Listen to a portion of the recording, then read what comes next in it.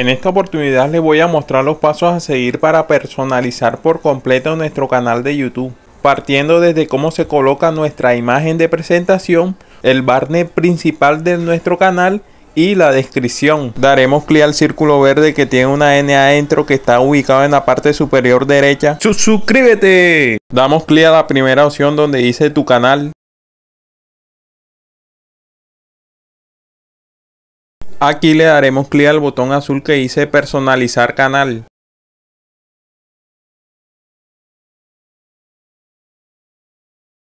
Aquí observamos que podemos colocar un video como trailer para los usuarios que aún no se han suscrito y podemos añadir un video destacado para los usuarios que ya se suscribieron.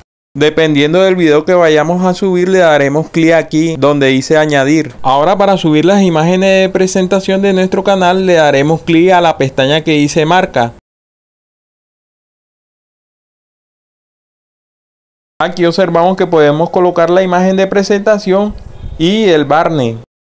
Recuerden que la imagen de presentación de nuestro canal lo recomendable es que tenga 98 x 98 píxeles y pesar máximo 4 MB. Y las dimensiones recomendables para la imagen del barnet debe ser de 2048 por 1152 píxeles y pesar máximo 6 MB. Para subir cualquiera de las dos imágenes le daremos clic aquí donde dice subir y seleccionamos la imagen desde nuestro computador que vamos a subir.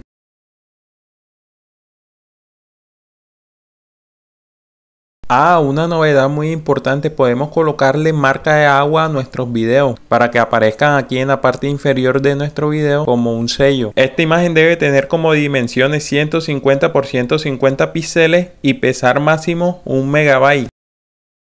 Ahora le daremos clic a la pestaña que dice información básica.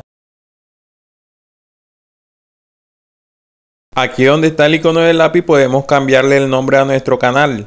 Acá abajo en el campo de texto podemos escribir la descripción de nuestro canal, de qué va a tratar, de qué es. La URL del canal es el link principal de nuestro canal de YouTube, con el cual pueden conseguirnos, nos pueden buscar. Ah, y está esta parte de añadir enlace. Aquí podemos poner nuestras redes sociales principales o página web. Le damos clic aquí en el signo más, añadir. Escribiremos el título del enlace que es obligatorio y al lado pegaremos el link o URL de nuestra red social o página web.